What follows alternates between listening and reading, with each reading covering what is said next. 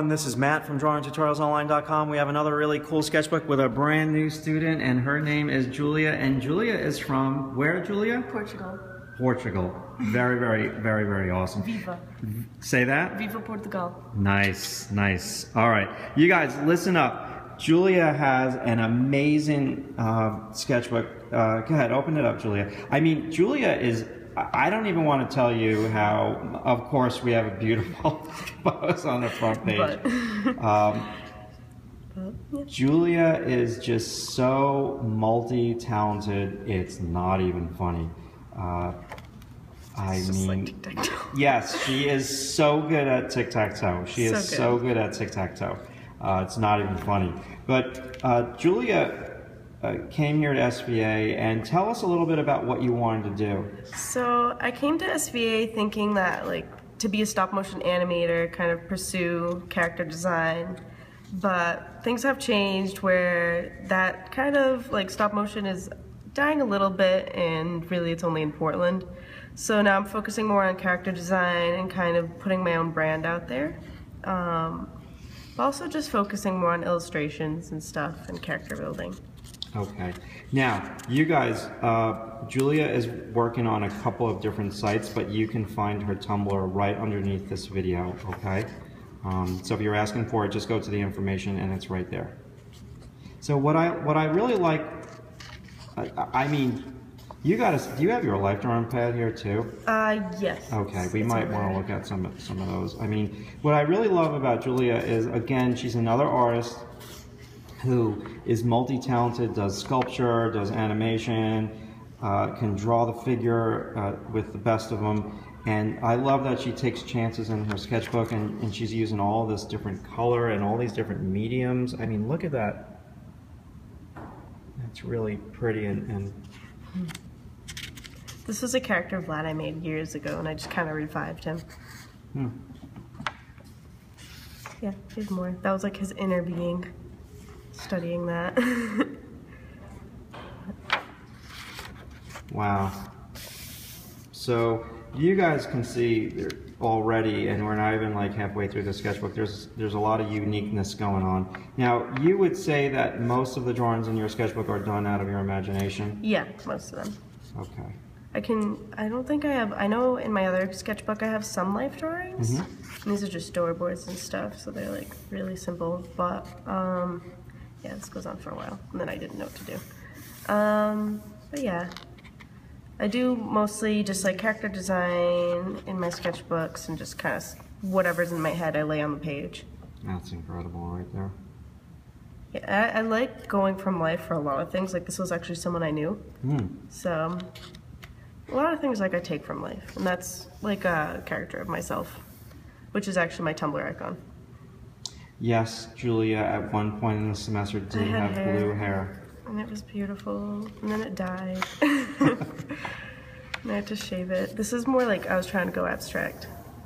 Hmm. Yeah, this is like another abstract page of me, Hold on, hold on. but this was more of a me drunk at a party. And I was Oh. like, yeah, I'm gonna draw. Everyone should have one of those drawings in their sketchbook. it was a New Year's party, so I was like, New Year, new me. Wow. Wow, I wish I saved some of that stuff when I was younger. God. But probably most of the drawings in my sketchbook were so bad they probably looked like I was drunk all the time. This was me fancy drunk listening to Tom Waits. So I was a fancy drunk. Because that's a bottle of wine right there. Whoa. Yeah. And then this is, I like to go to the library a lot and just kind of study. Like, these are from life. These are pictures of like frogs from books. So I do take things a lot from life. Hmm. That's beautiful. So it's like these hand studies and all that. These legs over here. This actually I looked at another illustrator for. But this was an original character.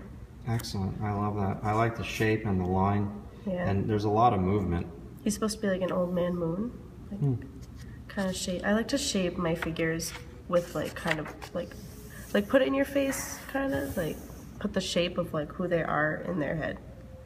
Hmm. So yeah, it's interesting. This I was just studying letters and stuff. Wow.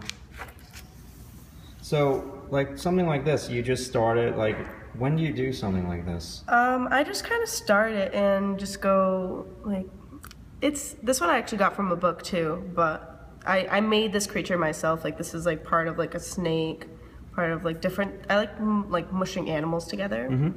and like kind of like humanoid things, to put like kind of like the demons in yourself. So, but like most like these I referenced, but I like put put them all together by myself. Nice job. Thank you. This was another one from books too at the library. These are um, 1920s shoes that I love. Wow, they look so modern. yeah, I love 20s stuff. So this is like all 20s models and drawings and stuff. And this is more of my character design, kind of just going off like an inanimate object and making it into like a thing, like a breathing, living thing. Wow. So yeah, cactus girl. And so you're using like a marker and pencil and pen, or Mm-hmm. I use markers, colored pencils, um, pens, graphite, really anything I can get my hands on. I just mush together. But I like doing a lot of profiles.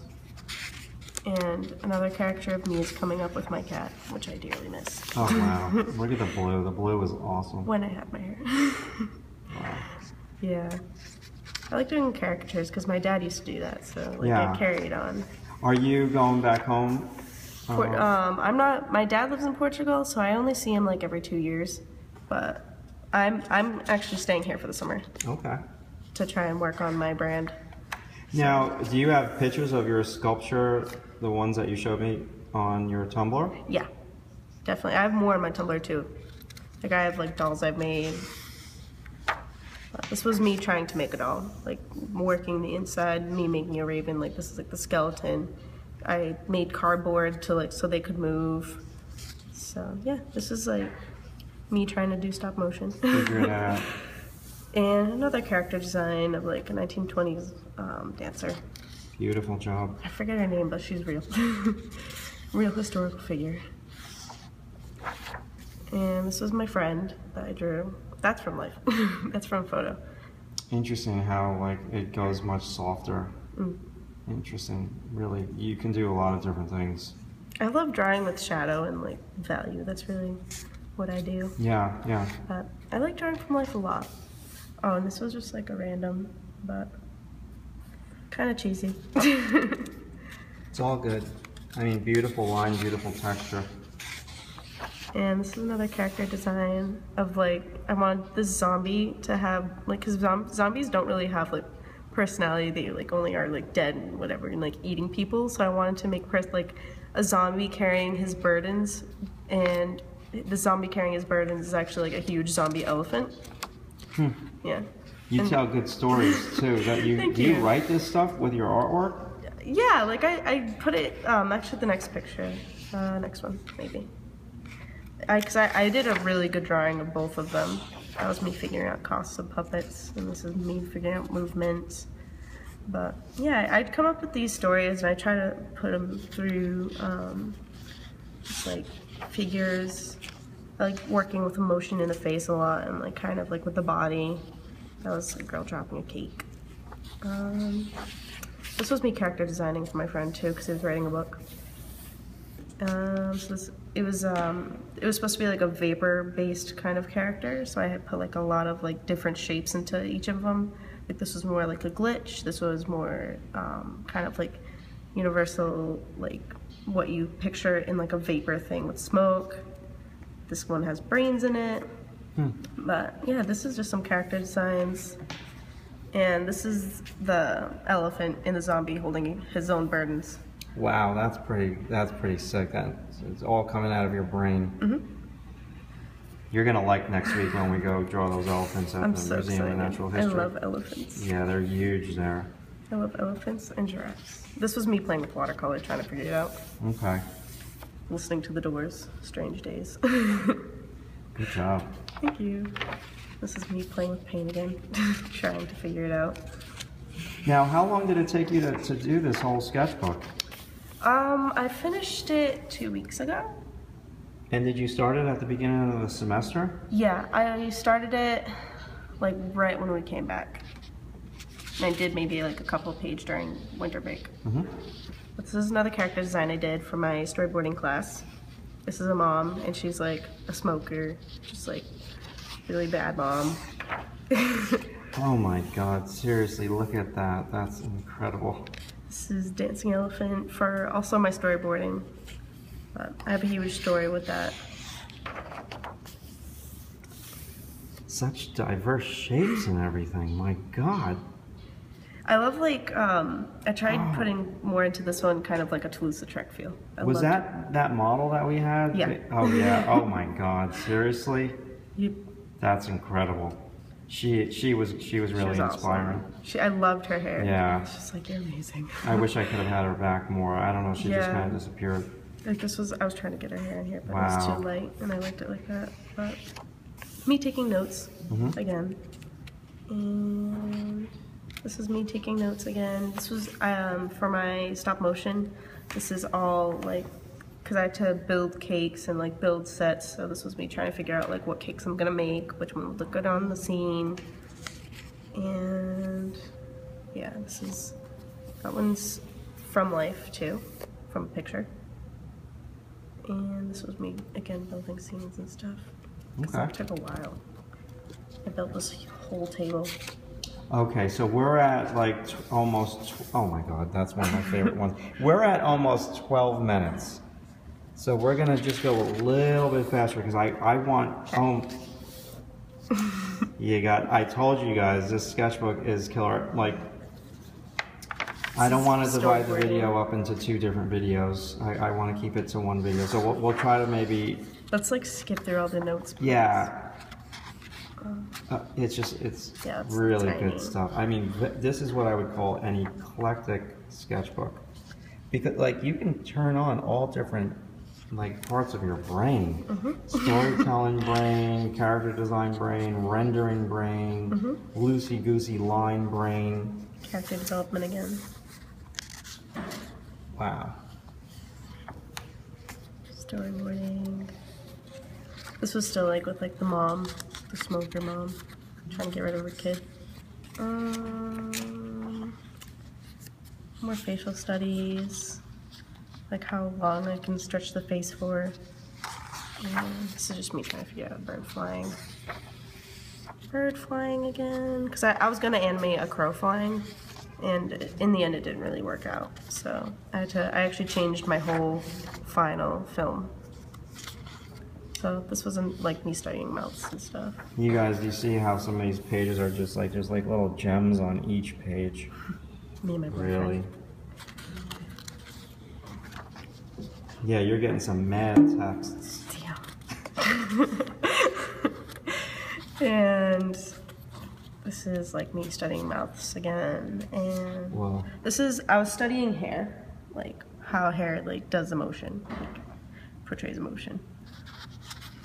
Sharp hair, evil people.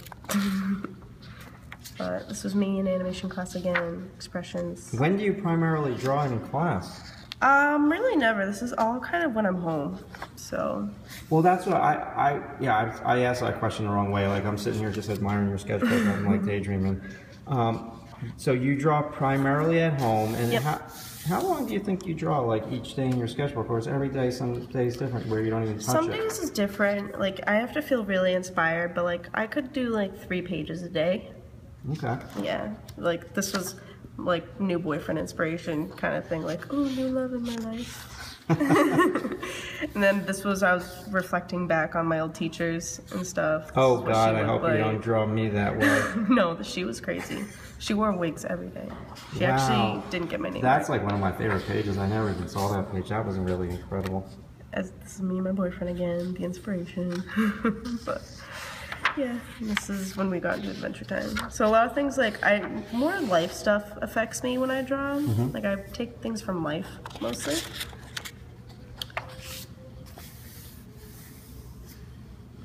Yeah. And I love like drawing with shadows. It's one of my favorite Yeah. things. And I love like doing like realistic hands and everything. Like that's like I really love like re- realism and like because I I don't know I feel like it conveys like a lot of things, but Now, as you're as you're flipping through, tell us a little bit about your jewelry. What you're trying to do. Oh, so I'm trying to build a brand, Barn Burner Collective, and I'm selling rings on Etsy. And they're all made out of Sculpey that I like made these like skull rings. I have a medieval collection. I'm gonna do a nature-based collection, and um, I'm also I'm just doing a, a bunch of different collections right now. Like I have like a 1920s rings um, kind of forming also, but right now it's primarily like medi- medieval with like skulls, dragons. Um, but they're all rings that I make, um, all handmade, custom orders. Like you tell me the size and I'll do it for you. And they're really more like they're they're very sculptural. Like Yes. each one is like very detailed. And I put gold on them. They're very nice. But they're very durable too. I noticed that. I went to work. I was like testing the durability, and I, I like threw it on our stone ground, and I stomped on it, and it was fine. And I was very Wow. impressed. I coat them with enamel. That's why. But so they're they're pretty dur- uh, sturdy. Okay, cool. So you'll well you'll have a link to that on your Tumblr. Yeah, I definitely um, am gonna post that because I'm working on right now just building up the like our logo. Cause it's it's me and my boyfriend that do it because he he does like all the dirty work of like spraying up the enamel, making sure they're like fine, perfect, Okay. and I do like I, I build them and I sculpt them a lot. So yeah, Really cool stuff. So we'll skip those notes. yeah. This was me in a cafe listening to people. and Every page is just so different. It's Yeah. crazy. These are this is everyone in a cafe. Mm, I love going to cafes and drawing too. Like that's really like that helps me a lot with my caricatures and everything. This is notes from class. Character design again. I really love like putting like a macabre twist on characters too. Mhm. So my I really like am inspired by like Tim Burton and Gris Grimly in a way. So I see some of that inspiration, no doubt about it. this is a tattoo design I did for someone.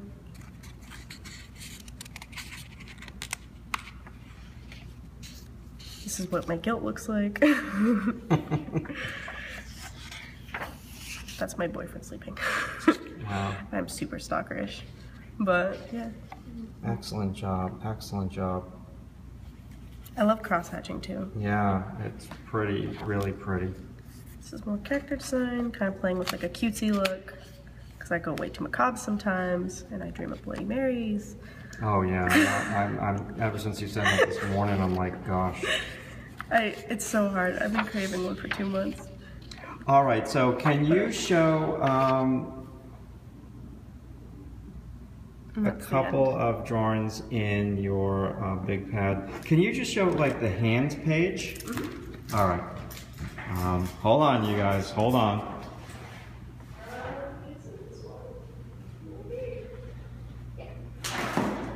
All right.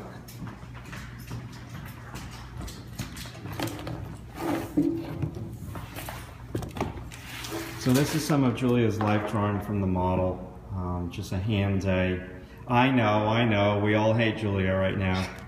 Um, so you guys gotta understand that this is uh, early in, in Julia's art career here, and uh, she's she's doing pretty good. She's doing pretty good. I don't want you to screw up the, paper. Um, let's see if I like the next page. Oh, this is my portrait. This guy was. Yeah, when I tell you this is the way that these people looked, and this is the way that these people looked. Like that guy looks like that guy right there. And his eyes, like you got his light eyes. That's pretty hard to do. Wow, nice, nice. Do you have any? Oh wow, look at that figure drawing. I mean, are you kidding me? I'm. It's not polite for me to hold on. Don't don't. It's not polite for me to ask you how old you are, but I know that you're very young. And Yeah. these drawings are really good, good, good, good drawing. I would have died to have drawn like this when I was your age. Uh, I mean, I'm really happy for you. Like, you got a lot of talent, and you work hard too. But I, I gotta say, like, these are killer. I started drawing when I was very young. Like my dad, like, cause he saw me just like generically drawing, and he was like, "No, you need to draw. Like he's the one that coached me when I was little. He, like he was like, no, you need to draw from life. Like you aren't drawing from life. Stop drawing from your imagination. Yeah. So that like he used to take me to draw all these trees and everything. Okay. So he was like, no, like look, like don't even look at your page, look at the tree. So like he was he was my teacher really. All right, we just went over 20. So, Julia, thank you so much for sharing and uh, keep up the good work. And you guys, thanks so much for. I hope you enjoyed that. I know I did. My arms are killing me. We'll see you soon. All right, thanks once again for watching Julia's sketchbook. She's an amazing student. That video was filmed about two months ago. It was uh, the second to last week of class back in May. Well, I just want to share with you, we have a couple of brand new products that are completely separate from a membership to drawingtutorialsonline.com. We have a brand new figure drawing a layered approach. If you guys remember, I filmed that back in 2007 while I completely redid all those videos. And if you're looking to, uh, get much better at drawing the figure. This is kind of my core teaching, and it's the, it's everything that I teach the students. Uh, like Julia, that specific class that she's in uh, from week one to week seven, it, it, it's just if you want to get really good at drawing the figure, that course is for you. It's it's a one-time fee to buy that course, and then you have access to the videos pretty much forever. And then the the masterclass series is about image making, and in that particular series, we analyze three different artists and we break down their images. Each video is about an hour long, uh, and each video comes with a PDF. And and the figure drawing a layered approach course also comes with a PDF. Both of these videos are housed on on a whole different website. If you're interested, uh, come on over to drawingtutorialsonline.com and just click on shop, and it's right there. All right, thanks so much for watching. I really appreciate it, and we'll be talking to you soon. Be good.